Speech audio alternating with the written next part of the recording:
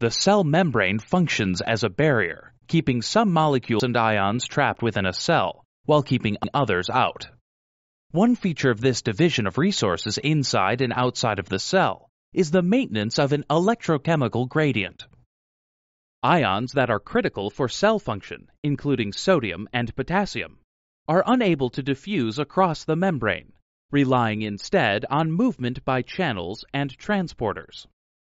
Under normal conditions, there is generally more sodium on the outside of a cell than inside.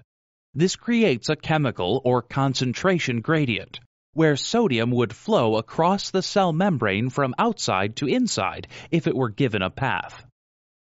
Conversely, there is a lower concentration of potassium outside of the cell and more potassium inside, so its chemical gradient is in opposition to sodium's gradient.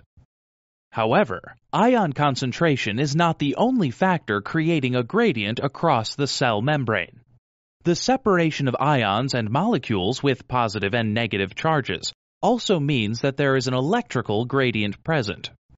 The prevalence of positively charged sodium ions outside of the cell and the abundance of negatively charged proteins inside are two major factors that contribute to the overall difference in charge across the membrane.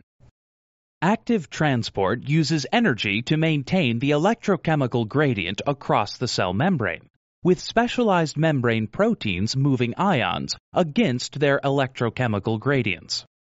Under specific conditions, however, the ions are allowed to move with their gradients, generating energy for processes like glucose transport,